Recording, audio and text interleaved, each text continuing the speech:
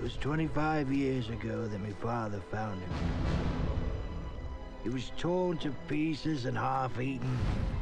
Whatever did it was big, and buckshot couldn't kill it. After that, my father went home, cast silver bullets. Wouldn't leave the house on a full moon from then on.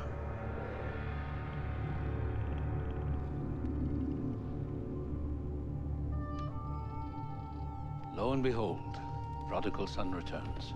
Hello, Father. You've come for the funeral. What happened? Your brother's body was found in a ditch. He'd been torn to pieces.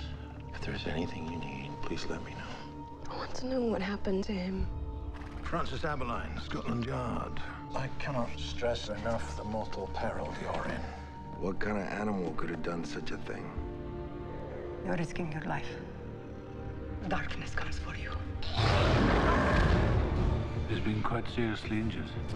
Thank you for staying with me. Now we know it's still out there. You were bitten by the beast. You bear his mark now. Do you believe in curses? you have to leave. What are you afraid of? There are those who doubt the power to change men into beasts. A beast has come among us. Terrible things, Lawrence. You've done terrible things. Be strong, son.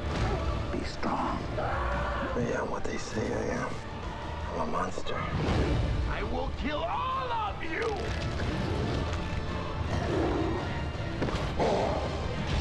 Let me help you.